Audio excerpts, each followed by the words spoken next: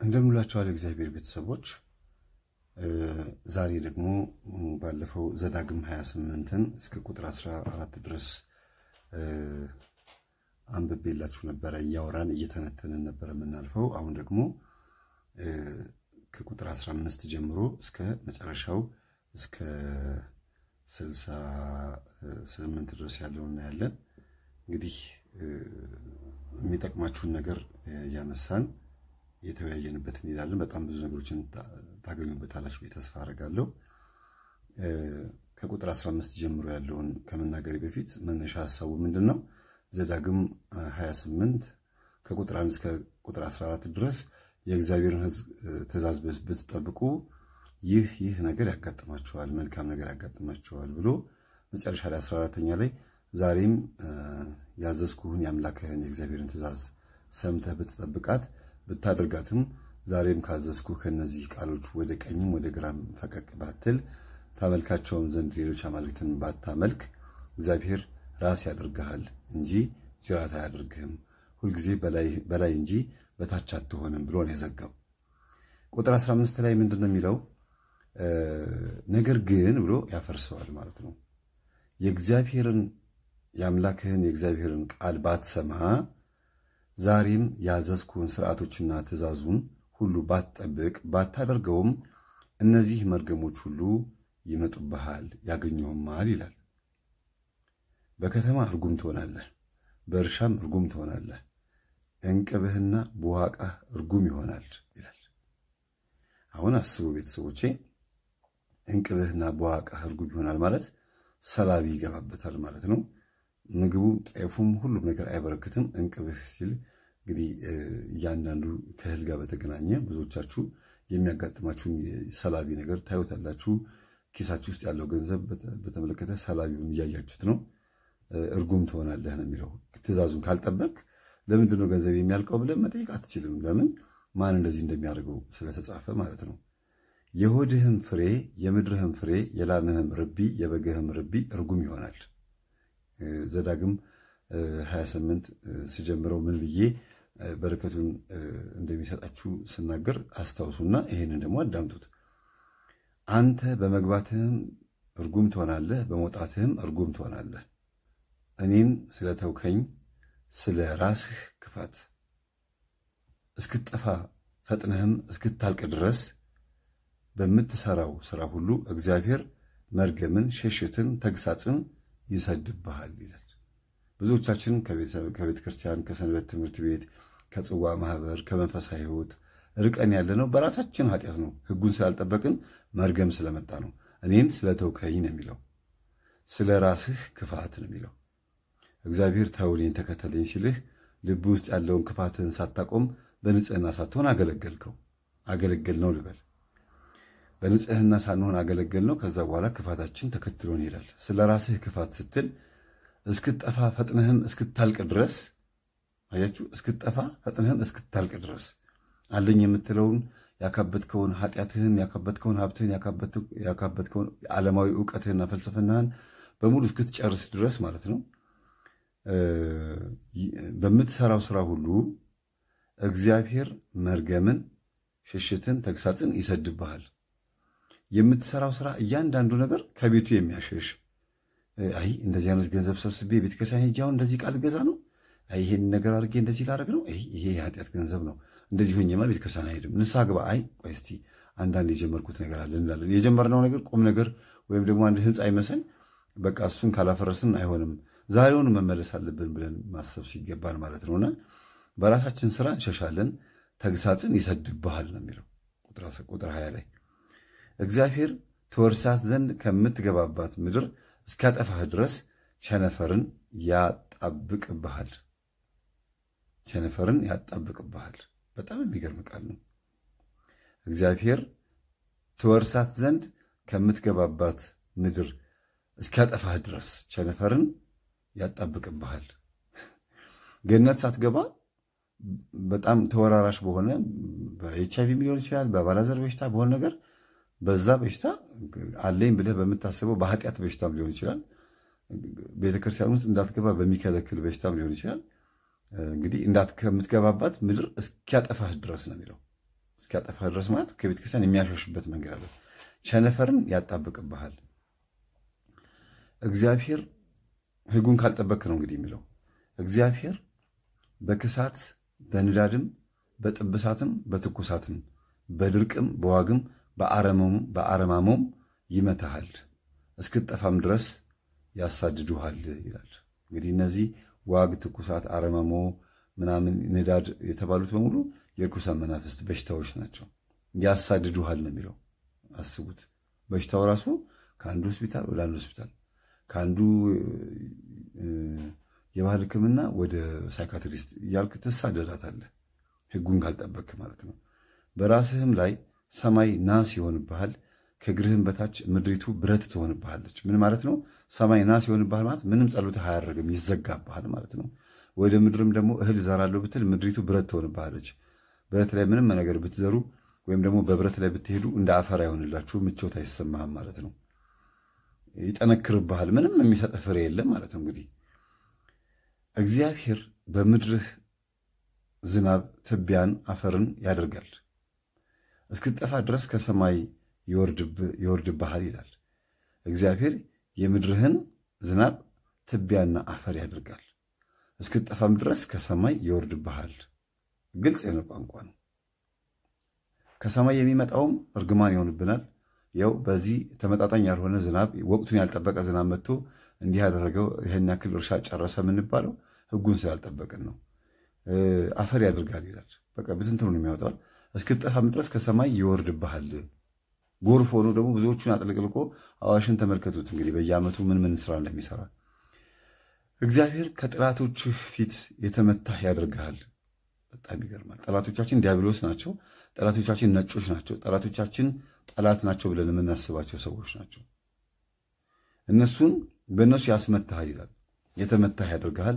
በአንድ መንገድ ትወጣባቸዋለህ፣ በሰባት መንገድ ከእነሱ ትሸሻለህ። እዛኛው ጽድቁ ላይ ምንድን ነበር የሚለው? በሰባት በአንድ መንገድ ይመጡብሃል፣ አንተም በሰባት መንገድ ትበታትናቸዋለህ፣ ይበተኑልሃል ነበር የሚለው። እዚህ ጋር ደግሞ ይመጡብሃል ነው የሚለው። በአንድ መንገድ ትወጣባቸዋለህ ማለት ሁልጊዜ ምድራዊ በሆነ አስተሳሰብ ነው መናፍስት ለማጥፋት የምትሞክረው። በአንድ መንገድ በሰባት መንገድ ከእነሱ ትሸሻለህ ይላል። ከመናፍስቶቹ ማለት ነው። እንግዲህ ከጠላቶቻችን ለምድርም መንግስታት ሁሉ ድንጋጤ ትሆናለህ። ተመልከቱ ዛሬ የሚደረገው ያለው ነገር እንግዲህ አገርን የሚያምሱት ማን እንደሆኑ እኛም በዛ መስመር ውስጥ እንዴት ተሳትፈን እንደሆነ ሳናውቀው ፖለቲካ ውስጥ የገባን ሰዎች ማለት ነው። ሬሳ ለሰማይ ወፎች ሁሉም ሬሳ ለሰማይ ወፎች ሁሉ ለምድርም አራዊት መብል ይሆናል፣ የሚያስፈራቸውም የለም። እንግዲህ ይሄ ግልጽ ነው። አንተ መንግስት በዚህ ግባ በዚህ ውጣ ሲልህ፣ ተቃዋሚ ፓርቲ በዚህ ግባ በዚህ ውጣ ሲልህ፣ ጠላትህም ሲያዝህ በሁሉም ነገር ታዛዥ ትሆናለህ። መጫወቻ ነው የምትሆነው፣ ቅሪላ ኳስ ማለት ነው።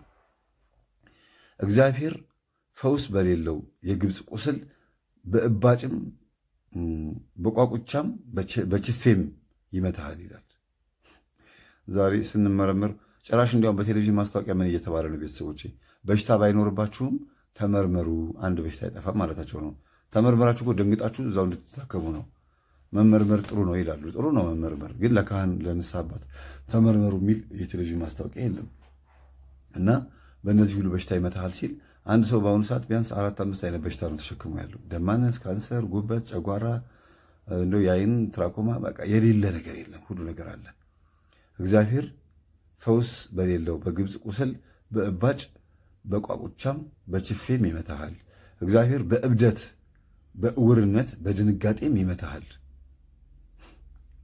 ግልጽ እኮ ነው። እግዚአብሔር በእብደት ዛሬ ከምታየው ነገር የተነሳ እብድ ትሆናለህ የሚለው ቃላት የተነገረው ይሄ ነው። አሁን ታገኙታላችሁ ከስር በእብደት በእውርነት መንፈሳዊ ነገር ለማየት የተቸገርንበት በአሁኑ ሰዓት መንፈሳዊ እውርነት አለብን።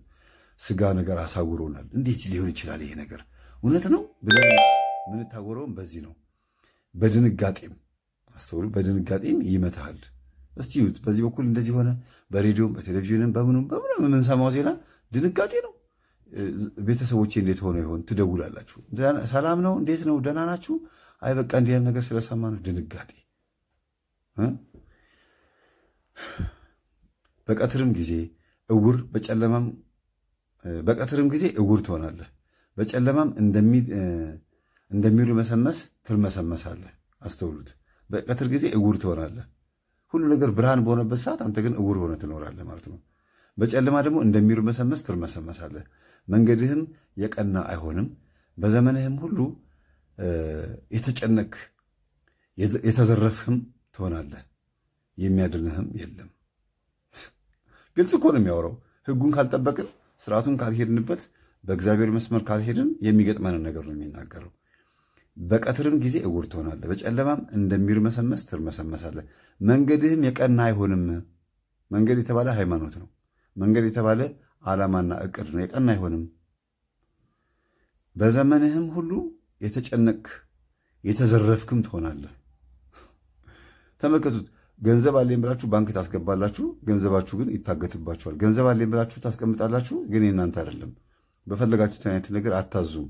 የእናንተ ንብረት፣ የእናንተ ገንዘብ፣ የእናንተ ሕይወት በሙሉ በሌላ ሰው በሰላቢ ቁጥጥር ውስጥ ነው ያለው።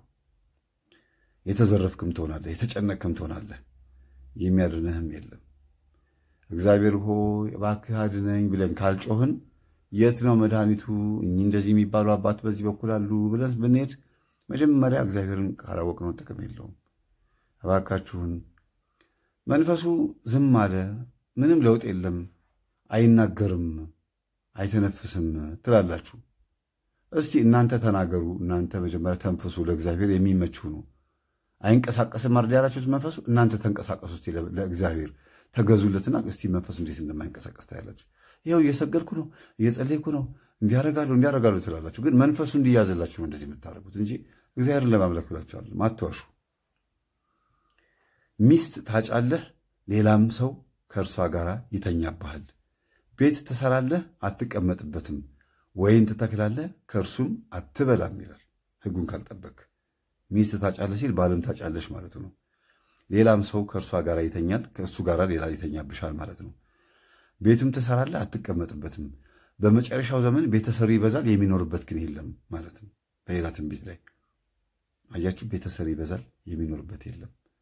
አጭር ዕድሜ ነው የምንኖረው። በጣም ከባድ ነው ቤተሰቦቼ።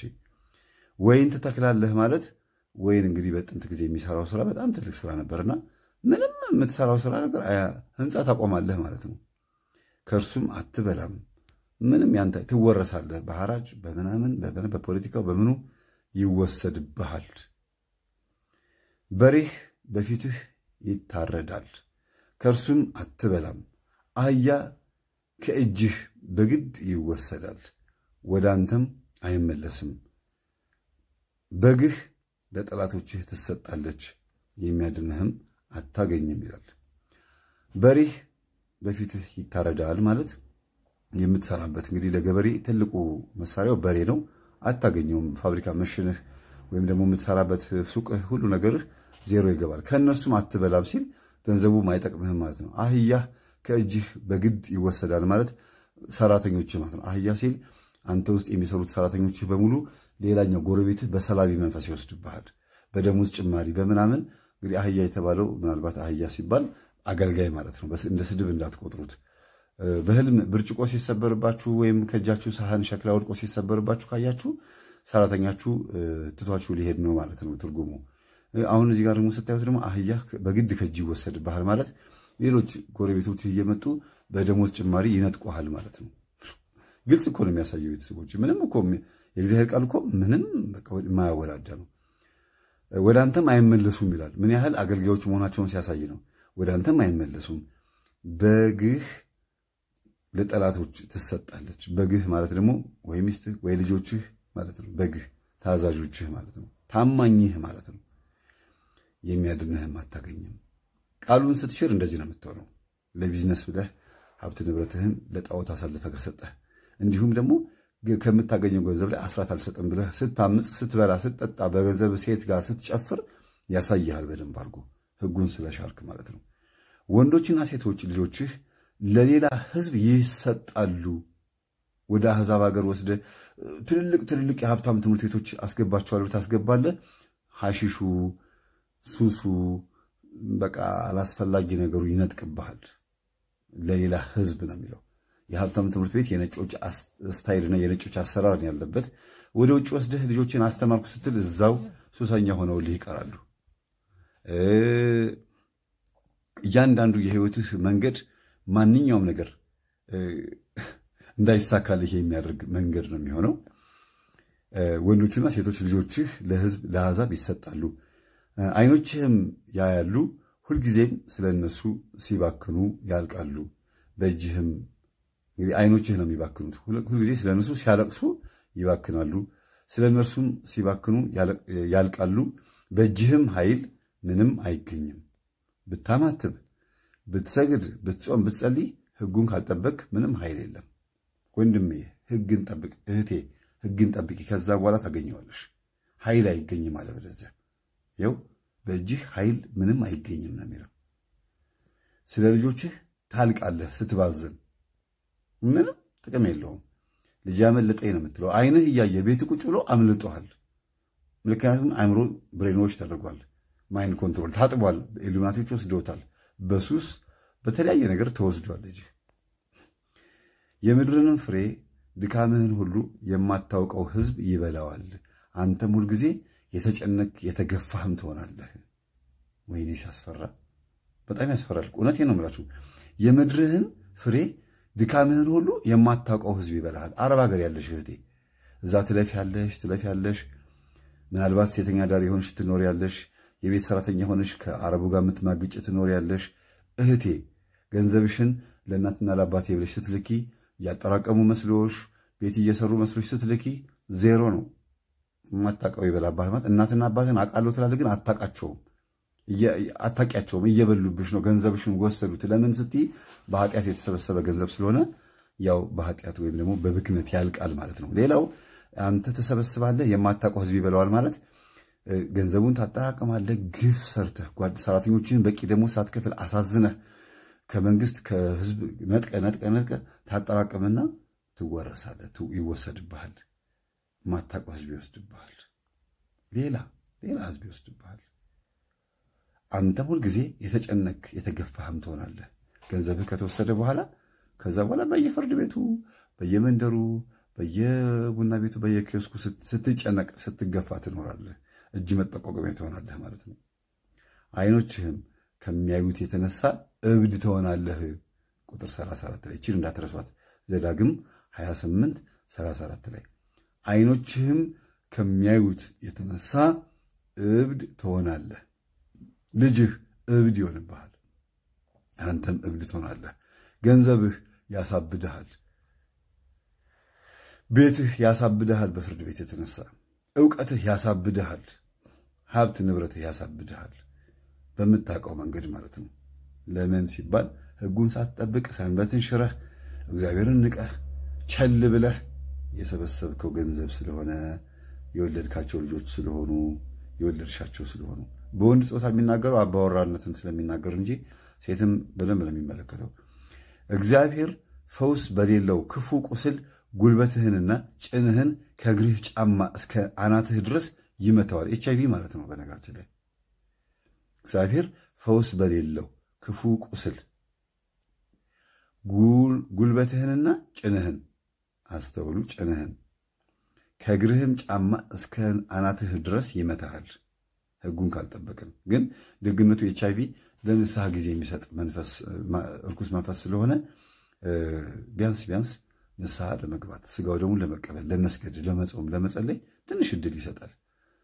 እነ ኮሮና ናቸው እነዚህ ትን በትንታ የሚገሉና በስቅታ የሚገሉ እነ ስጋ በጉሮሯችን ውስጥ ገብተው ወይም ደግሞ የመኪና አደጋ ወይም ደግሞ የሰው እጅ ሰበብ በመሆን በሰው እጅ መሞት እነሱ ናቸው ጊዜ የማይሰጡት።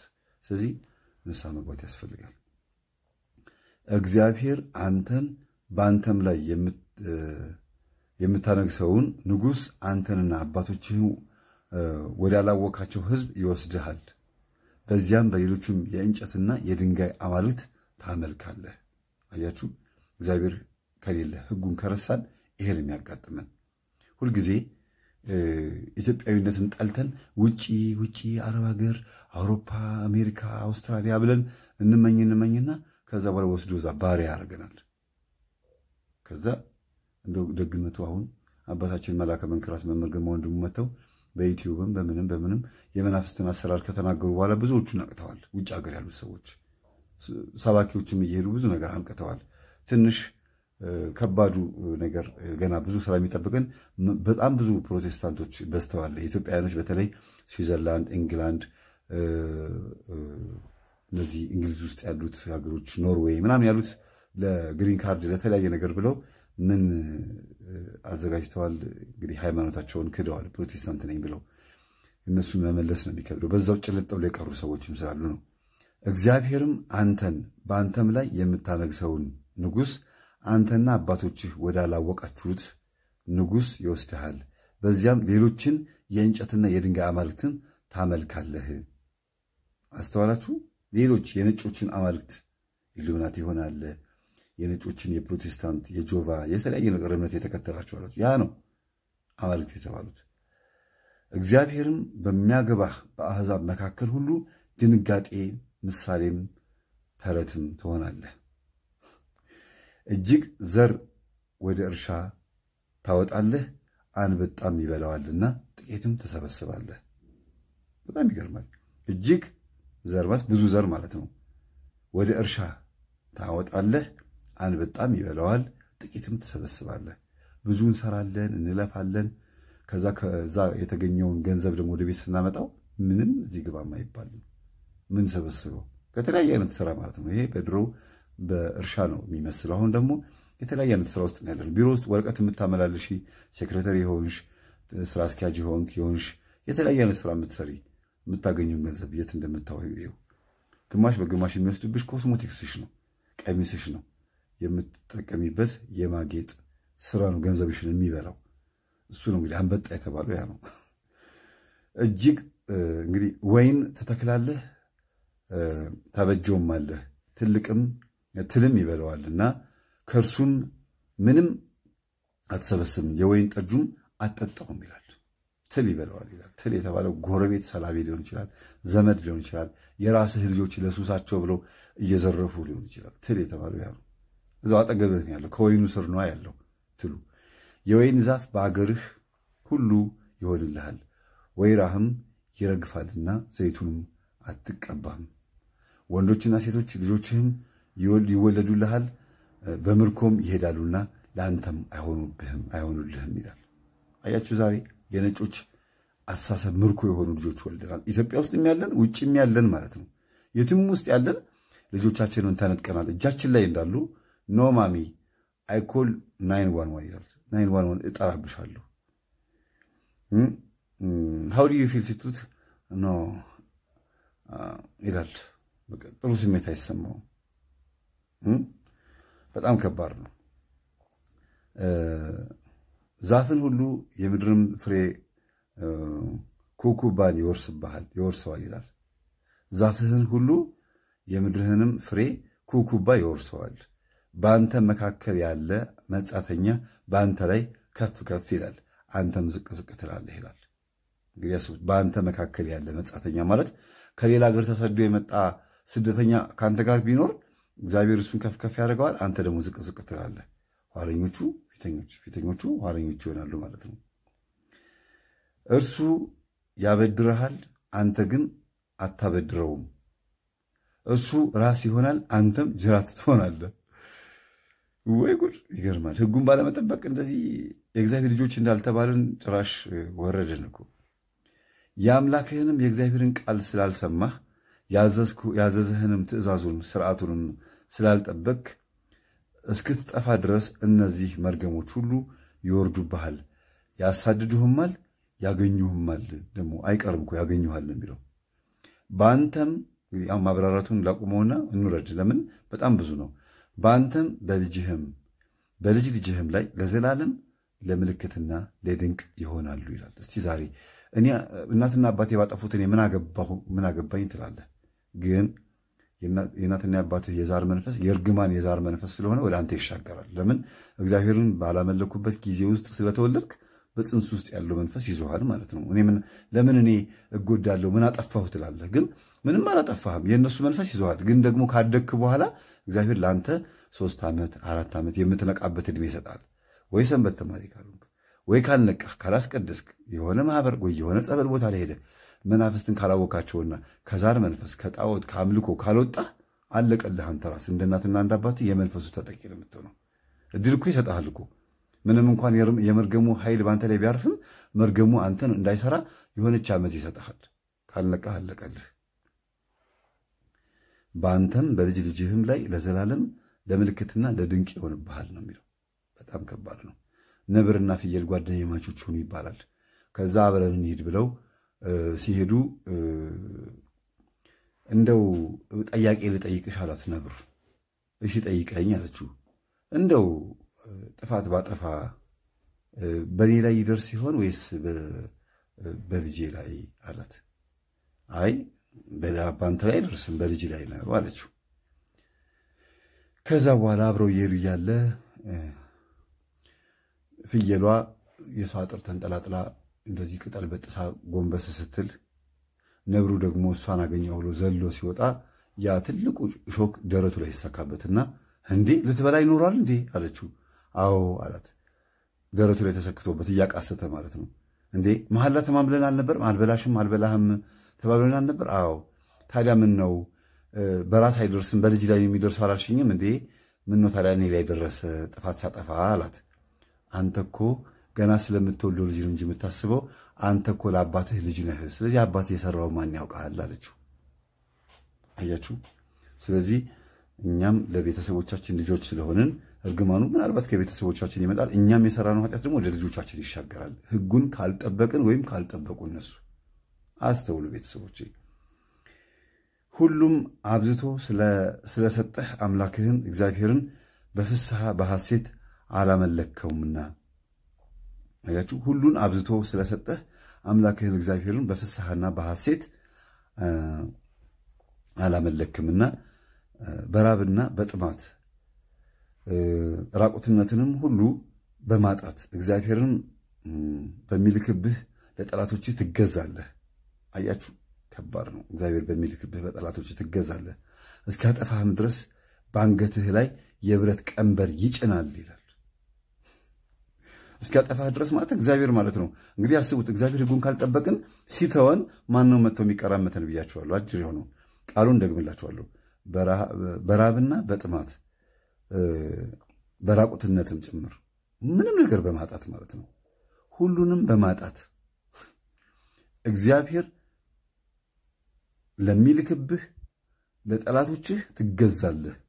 አንደኛ ወደ ኢትዮጵያ በሚገቡ ቅኝ ግዛቶች፣ ሁለተኛ ወደ ቤትህ በሚገቡ የቤት ሰራተኛም ዘበኛም፣ በመስሪያ ቤት ውስጥም ሊሰሩ በመጡ ሰራተኞቻችን ወይም ደግሞ ውጭ ሀገርም ብትሆን የትም ሀገር ያለህ ማለት ነው አጠገብህ ባሉት ጠላቶች ትገዛለህ። እስኪያጠፋህም ድረስ በአንገትህ ላይ የብረት ቀንበር ይጭናል ይላል።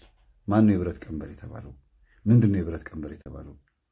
ትሞክራለህ፣ ትሰራለህ፣ ትለፋለህ፣ ምንም የለም። ቀንበሩ ነው የሚጫነህ። ኧረ ማጅራቴን ጨመደደኝ ትላለህ። የሆነ ነገር ተጭኖኛል። ኧረ ምንድን ነው ይሄ ነገር ማን ያወርድልኝ ትላለህ። እስቲ የሚያወርድልህ እኮ ሕጉን ስጠበቅ ነው፣ ትእዛዙን ስጠበቅ ነው። መናፍስቱም ከአንተ የሚሸሹት እኮ ወደ እግዚአብሔር ስትመለስ ነው። ተመለሱ። ከዚህ በታች ያለው እናንተ ታነቡት ወይስ ልቀጥለው? እሺ ቁጥር አምሳ ላይ እግዚአብሔር ቋንቋቸውን የማታውቀውን ፊታቸው የደነደነውን ሽማግሌውንም የማያፍሩትን ሕፃናቱንም የማይምሩትን ሕዝብ ንስር እንደሚበር ከሩቅ አገር ከምድር ዳር ያመጣብሃል። ይኸው ነጮች ወረሩን፣ ጨካኞች ክፉዎች መጥተው ወረሩን። እዛም ያላችሁት እዚህም ያላችሁት በእነዚህ አይነት ሰዎች ነው የተወረራችሁት። እግዚአብሔር ቋንቋቸውን የማታውቃቸውን አስተውሉ። ምንም ነገር ቢያወሩ ስለአንተ ርኅራኄ የላቸውን። ፊታቸው የደነደነውን ይሄ ትንቢተ ዳንኤል ምዕራፍ ሰባት ላይ እንቆቅልሽን የሚፈታ ግን ፊተ ጨካኝ ንጉሥ ይመጣል እንዳለው ዛሬ እንግዲህ የምታዩት እንቆቅልሽን የሚፈታ ማለት ቴክኖሎጂ ነው። ፊተ ጨካኝ ንጉሥ ማለት ደግሞ ዲያብሎስን የሚከተል ማለት ነው። ፊታቸው የደነደነው ማለት መቼም ርኅራኄ የሌላቸው ሰዎች ማለት ነው። ደንዳና ሽማግሌውን የማያፍሩትን ኧረ እባካችሁ ተው እባካችሁ ብሎ ቢመርቁ ቢረግሙ ቢለምኑ ምንም ነገር ቢያደርጉ ሽማግሌን የማይፈሩትን ሼባው እያሉ የሚሳደቡትን እነዚህን የማን ውጤት እንደሆኑ ያዋቸው።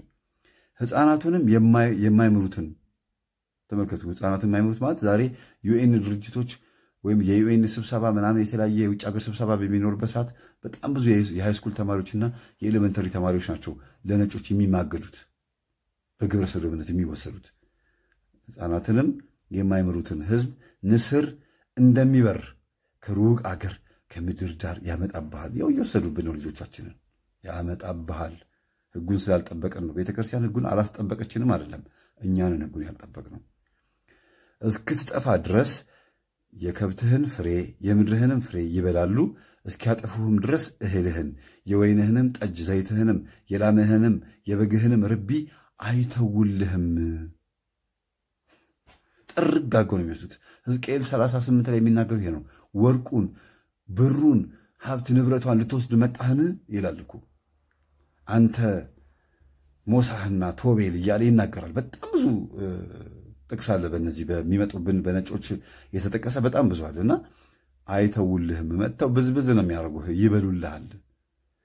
በሀገር ሁሉ ያሉ ትታመንባቸው የነበሩ የረዘሙ የጸኑ ቅጥሮች እስኪፈርሱ ድረስ በከተሞችህ ደጆች ሁሉ ከበው ያስጨንቁሃል።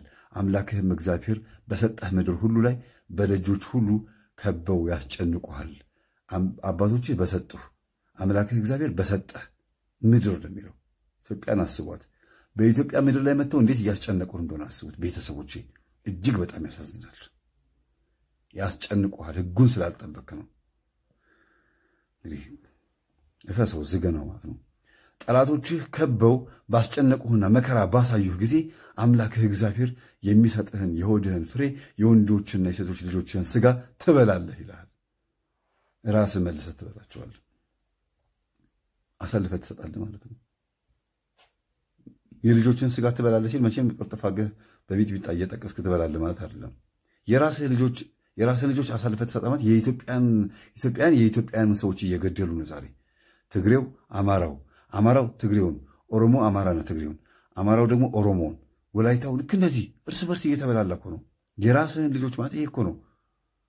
አንድ ዘር ነን የምትለውን ትበላለህ። በቤተሰብህም በውርስ ምክንያት ያክስትህ ልጅ ያጎትህ ልጅ የእንጀራ ልጅህን ከአባቴ የተወለዱትን ከእናቴ የተወለዱትን ትበላለህ፣ ትበያለሽ፣ በመተት ታፋጃለሽ።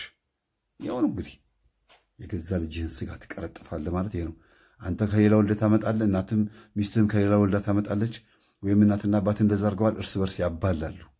ውርሱ በትክክል አያዋርሱ ወይ ደግሞ አርፎ አይቀመጡ። በአንተ ዘንድ የተለሳለሰና በቅምጥልነት ሁልጊዜ ይኖር የነበረው ሰው በወንድሙ አቅፋውን በምትተኛ በሚስቱ በቀሩትም ልጆቹ ይቀናል ይላል። በጣም ይገርማል። ዛሬ እየተደረገ ያለው ነገር ቁልጭ አጎን የሚያሳየው በአንተና የተለሳለሰ በቅምጥልና ሁልጊዜ በቅምጥልነት ሁልጊዜ ይኖር የነበረው ሰው በወንድሙ እቅፍም በምትተኛ በሚስቱ በቀሩት ልጆቹ ይቀናል። እርስ በርስ በዘመድ በቡዳ መበላላት በመቀናናት ማለት ነው። እንግዲህ ይገርማል። ለምን አለፈለት ለምን አለፈላት ብሎ በመቀናናት እንግዲህ በቡዳ መበላላት ማለት ይሄ ነው። በደጆችህ ሁሉ ውስጥ ጠላቶችህ ከበው ባስጨነቁህና መከራ ባሳዩህ ጊዜ ሌላ ነገር የቀረው የለምና ከሚበላው ከልጆቹ ሥጋ ለአንዱም አይሰጥህም። በግልጽ ነው የሚያሳየው። አንድም የሚያስቀረው ነገር የለም። መቶ ጥርግ አጎ ሲበላ ለአንተም እንኳን አያዝንልህም።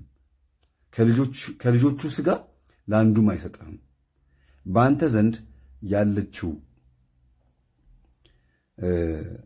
የተለሳለሰችና በቅምጥል ሁልጊዜ ትኖር የነበረችው ከልስላሴና ከቅምጥልነት የተነሳ የእግር ጫማዋን በምድር ላይ ያላደረገችው ሴት አቅፋ በተኛችዋ ባሏ በወንድምና በሴት ልጇ በእግሯ መካከል በሚወጣው በእንግዴ ልጅም በምትወልዳቸውም ልጆች ትቀናለች።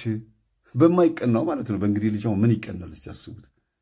በግል በራስ ልጆች በራሷ ልጆች በእያንዳንዱ አባት በልጁ እናት በልጇ ትቀናለች እኮ ማለት ነው። ወይኔ በጣም ያሳፍራል። እንግዲህ ሕጉን ባለመጠበቅ ነው። ዛሬ ልጇን እስር ቤት የምታሳስር የለችም። እናትና አባቱን የሚያሳስር የሚደበድብ የለም።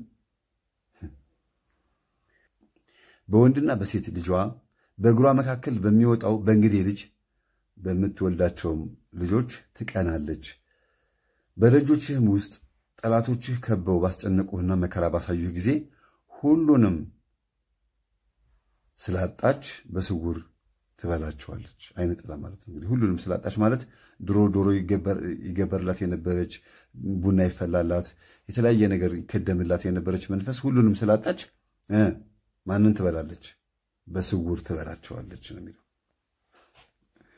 የሚገርም ነው። ግልጽ የመምህር ትምህርት እኮ እዚህ ለቁጭ ብሎ ነው በስውር ያው እርስ በርስ ተበላልተን ተበላልተን ተጨራረስን። ቤተሰቦች ደግማቸው አንብቡት። በዚህ መጽሐፍ የተጻፉትን የዚህን ሕግ ቃላቶች ሁሉ ታደርግ ዘንድ ባትጠብቅ ይህንንም አምላክህ እግዚአብሔር የተባለውን የተመሰገነውና የተፈራውን ስም ባትፈራ እግዚአብሔር መቅሰፍትን የዘርህንም መቅሰፍት ሁሉ ለዘመንም የሚኖረውን ታላቅ መቅሰፍት ብዙ ዘመን የሚኖረውንም ክፉ ደዌ ያደርግብሃል። የፈራኸውንም የግብፅ ደዌ ሁሉ እንደገና ያመጣብሃል፣ ያጣብቅብሃል። ደግሞም ይህን ሕግ ይህ ሕግ ባለበት መጽሐፍ ውስጥ ያልተጻፈውንም ደዌ ሁሉ መቅሰፍትም ሁሉ እስክትጠፋ ድረስ እግዚአብሔር ያመጣብሃል። የአምላካቸውንም የእግዚአብሔርን ቃል የአምላካችሁን የእግዚአብሔርን ቃል አልሰማችሁምና ከብዛታችሁ የተነሳ እንደ ሰማይ ከዋክብት የነበረው ቁጥራችሁ ጥቂት ይሆናል፣ ጥቂት ይቀራል። እግዚአብሔርም በጎ ያደርጋችኋል እግዚአብሔርም በጎ ያደርግላችሁ ዘንድ ያበዛችሁም ዘንድ ደስ ይለው እንደነበረ እንዲሁ እግዚአብሔር ሲያጠፋችሁ ሲያፈርሳችሁ ደስ ይለዋል። ትወርሷት ዘንድም ትገቡባትም ዘንድ ትነቀላላችሁ። በጣም ይገርማል። ከኢትዮጵያ ተነቅላችሁ የጠፋችሁ አላችሁ። ከውጭ ሀገርም ተነቅላችሁ ወደዚህ በድህነት የመጣችሁ አላችሁ። ኢትዮጵያ ውስጥ መሆናችሁ ካላችሁበት መሬት ተነቅላችሁ ወደማትፈልጉበት ቦታ ሄዳችሁ አላችሁ። እስቲ ዝም ብላችሁ ያላችሁበትን ቦታ አስቡት። እግዚአብሔርም ከምድር ዳር እስከ ዳርቻዋ ድረስ ወዳሉ ሕዝብ ሁሉ ይበትንሃል። አረብ ሀገር ስትሄጂ ማተብሽን በጥሰ ሲሄድሽ የዛሬ 16 ዓመት የዛሬ 10 ዓመት አስተዊ እግዚአብሔር ከምድር ዳር እስከ ዳር ድረስ ወዳሉ አሕዛብ ሁሉ ይበትንሃል። በዚያም አንተና አባቶችህ ያላወቃቸዋቸው ሌሎች አማልክትን እንጨትና ድንጋይም ታመልካለህ። በእነዚህ ሕዝብ መካከል እረፍት አታገኝም። እንግዲህ ከፎቅ የምትወረወሪው ስራ ስሪ በመባል መሰለኝ። ወይም ደግሞ የትም ሀገር ያለህ የትም አውሮፓ ሀገር ያለህ 18 ሰዓት ትሰራለህ። የቀረችዋ ሰዓት የእንቅልፍ ሰዓት ነች። ታሰክርሃለች። ከዛ ስትደነዝዝ ደሞዝ ይቀነስልሃል። ችግር ነው በጣም ብዙ ነገር። ዶላር አገኘው ብለህ ብዙ ነገር አሪፍ ነው ሰራለው፣ ጥሩ ነው፣ ክፍያ አሪፍ ነው ትላለህ። ግን ገንዘብ የት እንዳለ አታውቀውም። ምንን እንደምታበርድበት እንኳን አታውቀውም። በገንዘብህ የትኛውን ሱስን እንደምታበርድበት ራሱ ወቀው። ለእግዚአብሔርም ጫማ ለእግርህም ጫማ ማረፊያ ለእግርህም ጫማ ማረፊያ አይሆንህም። በዚህም እግዚአብሔር ተንቀጥቃጭ ልብ፣ ፈዛዛ ዓይን፣ ደካማ ነፍስ ያመጣብሃል። አያችሁ፣ በተሰደዳችሁበት ሀገር እግዚአብሔር ተንቀጥቃጭ ልብ ለነዛ መንግስታት የምትገዙበት፣ ፈዛዛ ዓይን ለነጮች ቡዳ የምትበሉበት፣ ደካማ ነፍስ ያመጣብሃል። ለገዛ ሃይማኖታቸው ለነጮች ሃይማኖት የምትገዙበት ፈዛዛ ነፍስ ነፍስህም ታመነታለች። ሌሊትና ቀንም ትፈራለህ፣ በሕይወትህም አትታመንም። ቁልጭ አለቅ ነው አደለ? ቤተሰቦች የቀረልን ነገር አለ። አንተ ስለፈራህበት ስለ ልብህ ፍርሃት በዓይንህም ስለምታየው አስተያየት ማለዳ መቼ ይመሻል ትላለህ፣ ማታም መቼ ይነጋል ትላለህ።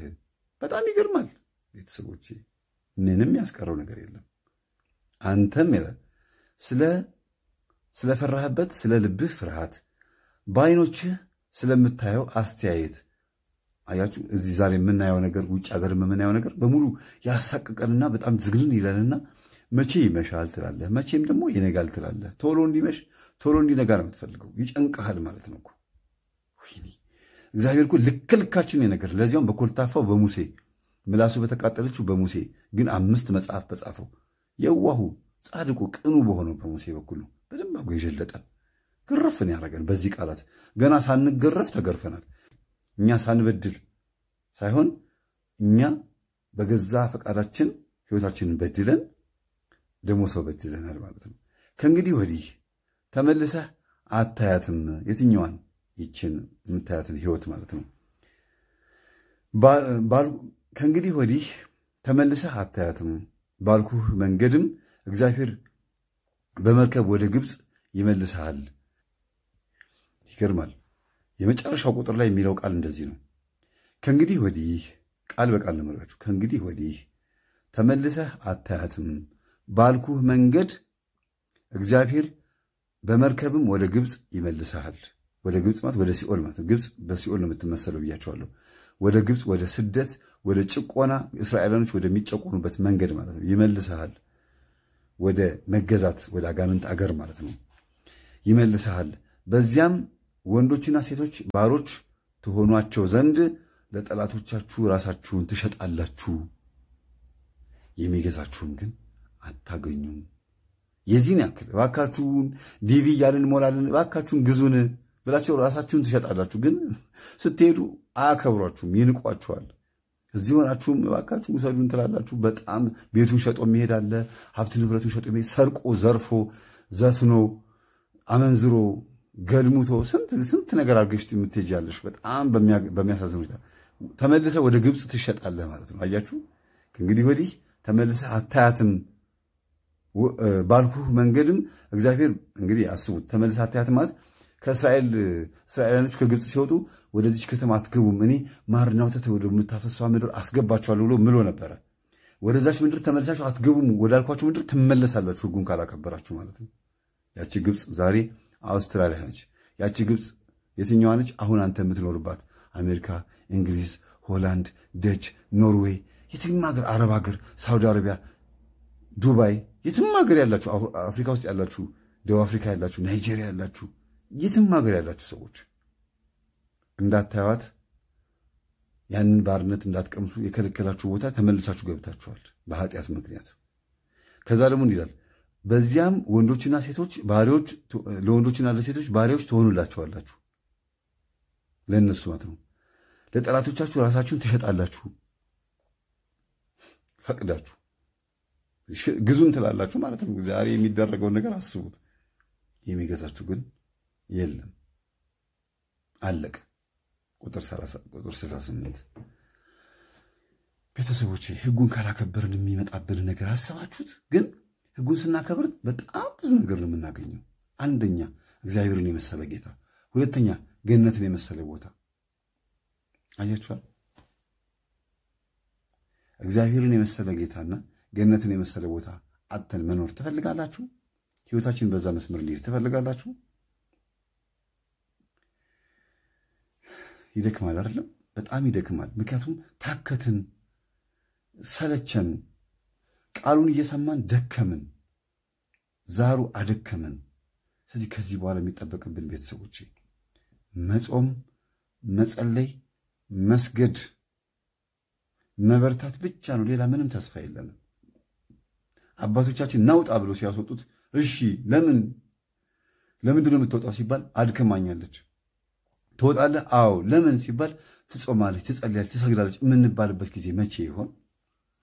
ዝም ብለን ሄደን አስወጡልን፣ እባክዎትን አባሩ፣ እንደዚህ ሆኜ እንደዚህ ሆኜ የጸሎት ክፍል አለሽ? የለኝም። እንዴ እሺ፣ የጸሎት ክፍል አለሽ? አዎ። ትሰግጃለሽ? እምቢ አለኝ። ትጸልያለሽ? እምቢ አለኝ። እንዴ ቤተሰቦቼ ምንድን ነው እየተደረገ ያለው? የጸሎት ክፍል አለሽ? አዎ የጸሎት ቦታ አለሽ? አዎ። ትሰግጃለሽ? አዎ።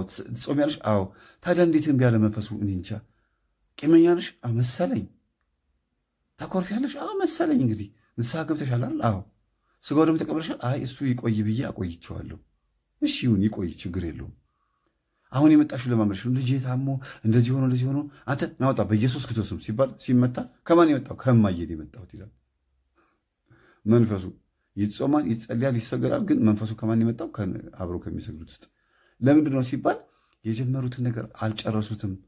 አምልኮውን የእግዚአብሔርን አምልኮ ሳይጨርሱ እንደገና ወደ ዓለም ገብተዋል።